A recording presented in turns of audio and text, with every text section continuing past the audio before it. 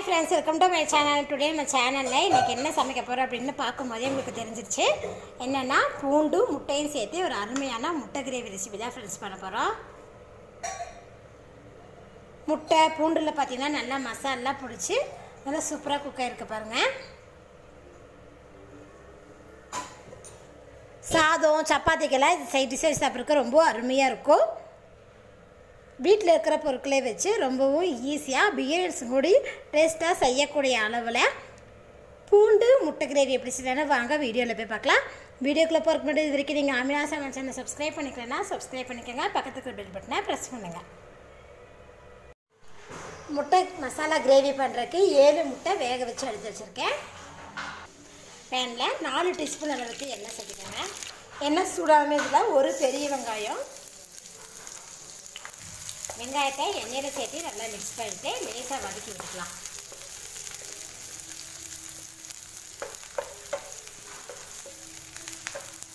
வெங்காயம் பார்த்திங்கன்னா ஓரளவுக்கு வதங்கிடுச்சு இப்போ இது கூட இது கூட அஞ்சு வரமிளகாய் எடுத்திருக்கேன் அதை இதை சேர்த்துடலாம்.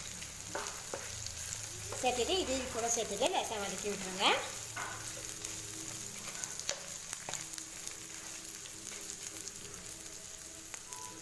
வரமிளகா லேசாக வதங்கினதுமே ரெண்டு தக்காளி பழத்தை கட் பண்ணி வச்சுருக்கேன். அது இதில் ஆட் பண்ணிடலாம். இது கூட சேர்த்துட்டு லேசாக வதக்கி விட்டுருவோம். ஏன்னா நம்ம இதை அரைக்க போகிறோம் அதனால் லேசாக வதங்கினா போதுமானது. தக்காளி வெங்காயம் வரமிளகா பார்த்திங்கன்னா ஓரளவுக்கு நல்லா வதங்கிடுச்சு இப்போ இது கூட பார்த்திங்கன்னா ஒரு டீஸ்பூன் அளவுக்கு குருமிளகு எடுத்துருக்கேன். அதையும் இதில் சேர்த்துக்கலாம். இப்போ இது லேசாக ஆறுனதுமே மிக்சி ஜாரில் தண்ணியெலாம் சேர்த்தாம நல்லா திக்காக அரைச்சி எடுத்துக்கலாம். கடையில் கொஞ்சமாக எண்ணெய் சேர்த்திக்கலாம். எண்ணெய் லேசாக சூடானதுமே நம்ம வேக வச்சுருக்க முட்டையில் பார்த்தீங்கன்னா நடுவில் பார்த்தீங்கன்னா கீரல் போட்டு வச்சுருக்கேன் அது இதில் ஆட் பண்ணிக்கலாம். கூடவே கால் டீஸ்பூன் அளவுக்கு மஞ்சத்தூள் மிளகாத்தூள் பார்த்தீங்கன்னா ஒரு டீஸ்பூன் அளவுக்கு மிளகாத்தூள் சேர்த்துருக்கேன். சேர்த்துட்டு முட்டையை நல்லா இதோட கலந்து மசாலாவோட முட்டையை பார்த்திங்கன்னா நல்லா ஃப்ரை பண்ணி எடுத்துக்கலாம். அப்போ தான் பார்த்திங்கன்னா முட்டையில் வந்து மசாலாலாம் பிடிச்சிடும் அதுக்காக தான் ஸ்லோ ஃப்ளேம்லேயே முட்டையை பார்த்திங்கன்னா நல்லா ஃப்ரை பண்ணிட்டோம். இப்போ இதை நம்ம எடுத்து வேறு ஒரு மிக்சிங் பவுலுக்கு மாற்றிக்கலாம் நம்ம முட்டை வறுத்த எண்ணெயிலேயே இன்னும் கொஞ்சமாக எண்ணெய் சேர்த்திக்கோங்க. எண்ணெய் சூடாச்சு இப்போ இதில் பார்த்தீங்கன்னா தாளிக்கிறக்க பட்டை கிராம்பு ஏலக்காய். ஏலக்காய் மூட பட்டை வந்து பார்த்திங்கன்னா சின்ன சின்ன பீசஸாக நாலு கிராம் நாலு எடுத்துருக்கேன். அதை இதில் சேர்த்திக்கலாம் இது கூடவே பார்த்திங்கன்னா சோம்பு. ஒரு டீஸ்பூன் அளவுக்கு சோம்பு. ஜீரகம் ஒரு டீஸ்பூன் அளவுக்கு சேர்த்துருக்கேன். பட்டை கிராம்பு ஏலக்காய் சோம்பெல்லாம் எண்ணெய் நல்லா பொறிஞ்சிச்சு இப்போ இது கூட பார்த்திங்கன்னா பத்து பல் அளவுக்கு பூண்டு. பூண்டு சேர்த்துட்டு லேசாக வதக்கி விட்டுருவோம்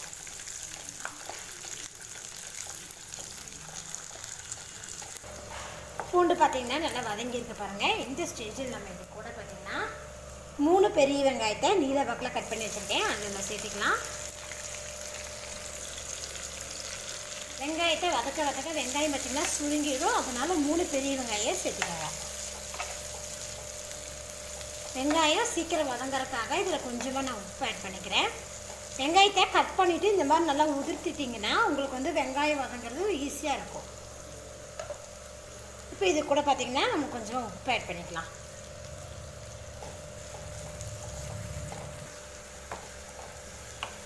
வெங்காயம் பாருங்கள் நல்லா வதங்கி நல்லா சுருண்டு வந்திருக்கு. இப்போ இது கூட பார்த்திங்கன்னா நம்ம ஃப்ளேம் வந்து லோ ஃப்ளேம் வச்சிடலாம் வச்சுட்டு இதெல்லாம் மிளகாத்தூள் அரை டீஸ்பூன் அளவுக்கு சேர்த்திக்கோங்க. ஏற்கனவே வரமிளகா குறுமிளகா போட்டு அரைச்சி வச்சுருக்கோம். மல்லித்தூள் ரெண்டு டீஸ்பூன் அளவுக்கு மல்லித்தூள் சேர்த்திருக்கேன். கரம் மசாலா ஒரு டீஸ்பூன் அளவுக்கு சேர்த்திருக்கேன். மசாலா பொடிகளை நல்லா இந்த வெங்காயம் பூண்டோட மிக்ஸ் ஆகிற மாதிரி நல்லா மிக்ஸ் பண்ணி விட்டுக்கலாம். மிக்ஸ் பண்ணிவிட்டு அரை நிமிஷம். லோ ஃப்ளேம்லேயே இதை வதக்கி விட்டுருங்க பார்த்திங்கன்னா நல்லா வதங்கியிருக்கு பாருங்கள் இப்போ இது கூட நம்ம வெங்காயம் தக்காளி வரமிளகா குருமிளகா போட்டு அரைச்சி வச்சுருக்கிறேன் அந்த பேஸ்ட் இதில் ஆட் பண்ணிக்கலாம். பச்சையாக போடாமல் நம்ம வதக்கி போட்டிருக்காங்காட்டி உங்களுக்கு அந்த பச்சை வாசம் இருக்காது. அது இல்லாமல் பார்த்தீங்கன்னா இந்த முட்டை கிரேவிக்கு இது அரைச்சி போட்டிருக்கங்காட்டி நல்ல ஒரு கிரேவி பதம் வரக்காக தான் இப்போ நம்ம சேர்த்திருக்கோம் அது இல்லாமல் இந்த மாதிரி போடும்போது நல்லா டேஸ்ட்டாகவும் இருக்கும். இந்த மாதிரி ஒரு டைம் ட்ரை பண்ணி பாருங்கள் மசாலா சேர்த்துட்டு நல்லா வதக்கி விட்டுட்டேன் பாருங்கள்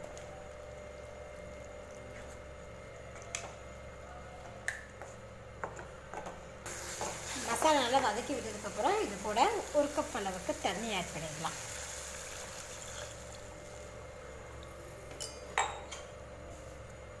இப்போ இது கூட தேவையான அளவுக்கு உப்பும் சேர்த்துக்கோங்க. சேர்த்துட்டு இதை நல்லா கலந்து விட்டுருங்க.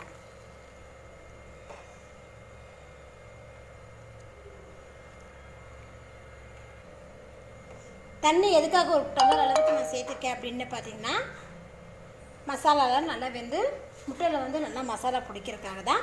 இப்போ இது கூட பார்த்திங்கன்னா நம்ம ஃப்ரை பண்ணி வச்சுருக்கிற முட்டையை ஆட் பண்ணிக்கலாம்.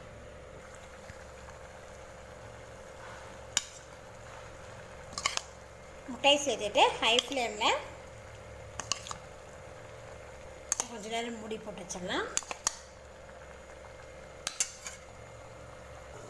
ஹை ஃப்ளேமில் அஞ்சு நிமிஷம் குக் பண்ணிவிட்டு மூடி போட்டு. இப்போ ஃப்ளேம் வந்து லோ ஃப்ளேமில் வச்சுருங்க. வச்சுட்டு அஞ்சு நிமிஷம் நம்ம ஓப்பன்லேயே குக் பண்ணிக்கலாம். அஞ்சு நிமிஷம் பார்த்தீங்கன்னா நான் லோ ஃப்ளேம்லேயே வச்சுட்டேன். இப்போ பார்த்தீங்கன்னா நம்மளுக்கு நல்ல அருமையான முட்டை கிரேவி பார்த்தீங்கன்னா நல்லா ரெடியாக இருக்குது பாருங்கள் இதோட டேஸ்ட்டும் பார்த்தீங்கன்னா செமையாக இருக்குது எக்கில் பார்த்தீங்கன்னா நல்லா மசாலா பிடிச்சி பூண்டெல்லாம் பார்த்தீங்கன்னா நல்லா முழுசாக சேர்த்துருக்கோம் இப்போ இது கூட பொடியாக நறுக்கின கொத்தமல்லி தரையில் கொஞ்சம் ஆட் பண்ணிக்கலாம்.